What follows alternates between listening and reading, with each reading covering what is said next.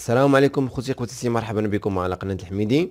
إذا من خلال هذه الحلقة غادي نحللوا مقطع من مؤلف ظاهرة الشعر الحديث.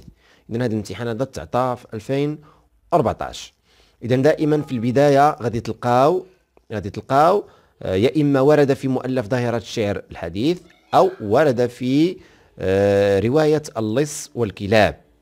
إذا آه، سأنتقل لقراءة المقطع ثم بعد ذلك سأنتقل إلى آه، قراءة الأسئلة ثم آه، يعني تحليل هذا المقطع. إذا إذا فمن الممكن من جهة أخرى اعتبار هذا الاتجاه الذاتي بمثابة رد على الحركة الإحيائية التي اتجهت اتجاها قويا نحو محاكاة الأقدمين. ولم تولي ذات الشاعر وهمومه الفردية أهمية كبرى. إذا من خلال قراءتنا لهذا المقطع هذا كنلاحظوا بأن آه، أحمد المعداوي المجاطي في هذا المقطع طرق لنا لجوج الحوايج. الاتجاه الذاتي ثم الاتجاه آه، القديم أي يعني آه، الإحياء النموذج. طبعا. اذا غالبا سيكون هناك يعني أو لا سنقارن ما بين اتجاه ذاتي ثم أو واتجاه آه، إحياء نموذج. اذا لي آه، باش نعرفوا بأن هذا المقطع هذا ضمن أي فصل آه، يندرج فلا بد فلا بد لنا أن نعرف المصدر يعني أن نقرأ المصدر. إذا لاحظوا معي صفحة سعود. إذا كما سبق وأن أشرت في أحد الفيديوهات آه، السابقة على القناة قلت الطريقة الوحيدة باش تعرفوا المقطع فين كيجي لنا آه، في مؤلف دايرة شرح بديت هي بالصفحات. إذا نوريكم مثلا. إذا مثلا هذا الفصل الأول. كما كتعرفوا بأن الفصل الأول كينقسم لجوج جوج الأقسام. القسم الأول وهو المعنون بنحو مضمون ذاتي. وكيبدا لنا من صفحة 9 حتى 36 وضمنه ضمنه كتجي هذه القولة اللي حنا في صدد التحليل ديالها. اذا سأنتقل إلى الأسئلة. انطلاقا من هذه القولة ومن قراءتك. المؤلف النقدي ثم اكتب موضوعا متكاملا تتناول فيه ما يأتي.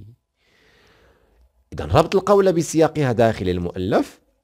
وذاك السؤال الأول لكن قبل أن نجيب على هذا السؤال لابد من تقديم عام.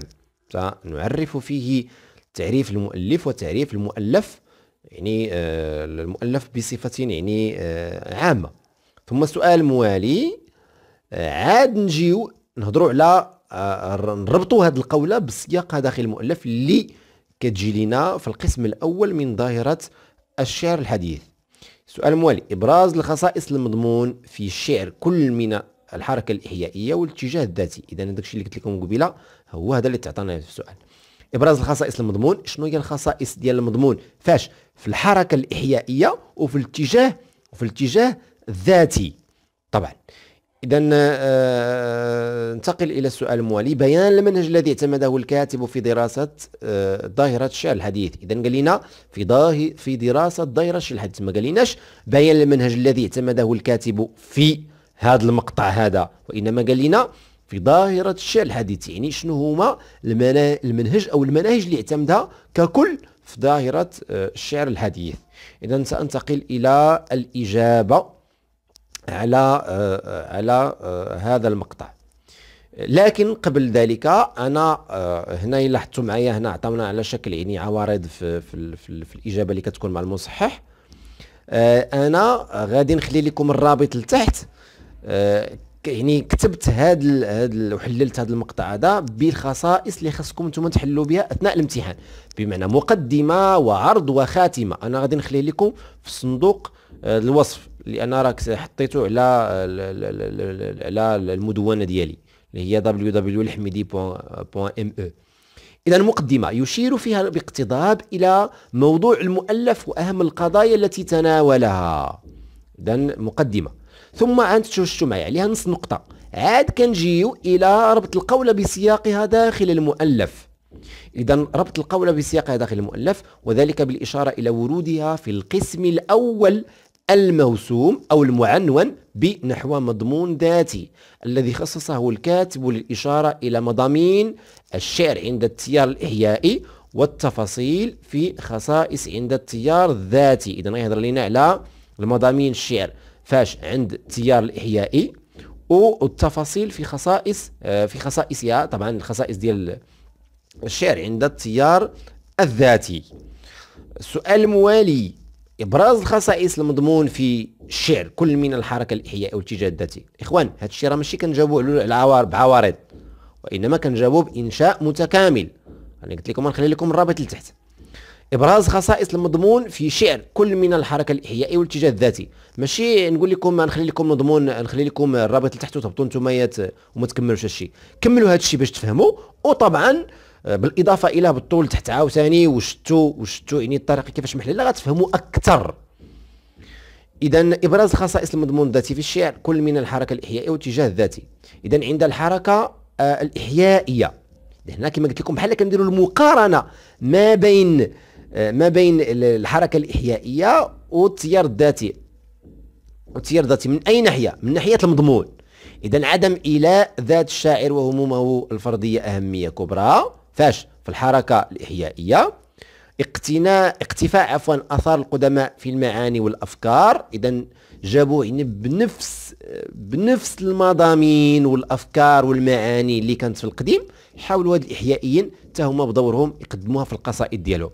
الالتفات إلى التراث العربي أكثر من الالتفات إلى ذات الشاعر وإلى واقعه.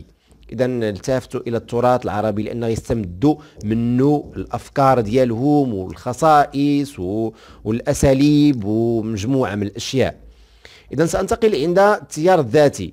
اذا التبشير بقيم جديدة تتناغم مع آه، شعار العودة إلى الذات. اتساع مفهوم الوجدان ليشمل النفس والحياة والكون عند آه، عند يعني التيار آه، التيار الوجداني أو سؤال الذات. الاهتمام بالموضوعات الشعرية ذات الطابع الذاتي الصرف. الارتماء في أحضان الطبيعة والزهد في الحياة والاستسلام. ثم الهيام بالجمال وعشق الحرية. بروز نزعة الانطواء والهروب آه، من مواجهة آه، الحياة. إخوان علاش علاش ظاهرة الشعر العربي الحديث؟ غنعطيكم واحد النصيحة. قراو ظاهرة الشعر العربي الحديث لأنها مهمة جدا. غتنفعكم في, في, في, في إحياء النموذج وغتنفعكم في سؤال الذات وغتنفعكم في تكسير البنية وغتنفعكم في تجديد الرؤية. هذا الشيء علاش هما كيعطيو آه، إحياء النموذج في الدورة الأولى لأنها كتكون يعني آه، مرفوقة آه، ب يعني هاد التيارات اللي نتوما كتقراو في الدورة الأولى. طبعا كنهضر على المتمدرسين آه، إذا آه، سأنتقل إلى بيان المنهج الذي اعتمده الكاتب في دراسة الشعر الحديث. إذا الإشارة إلى اعتماد الكاتب في دراسة آه، ظاهرة الشعر. منهجا متكاملا تتقاطع فيه حقول في حقول معرفية متعددة تاريخية وموضوعاتية ونفسية. تقوم على أساس التوظيف المنسجم لمقاربات منهجية متعددة في دراسة التحولات التي مست الشعر العربي الحديث مما سمح له بالتحرر من إكراه الالتزام بمنهج واحد والانفتاح على مقاربات متعددة تستوعب معظم القضايا وإشكالات ظاهرة الشعر الحديث.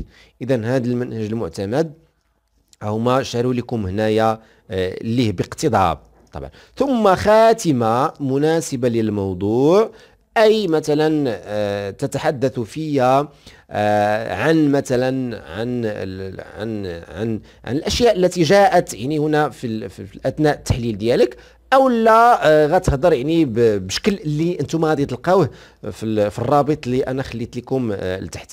اذا إخواني إلا كان شي سؤال خليوه ليا لتحت فأنا إن شاء الله غادي نجاوبكم عليه. اذا أضرب لكم موعدا إلى الحلقة القادمة إن شاء الله.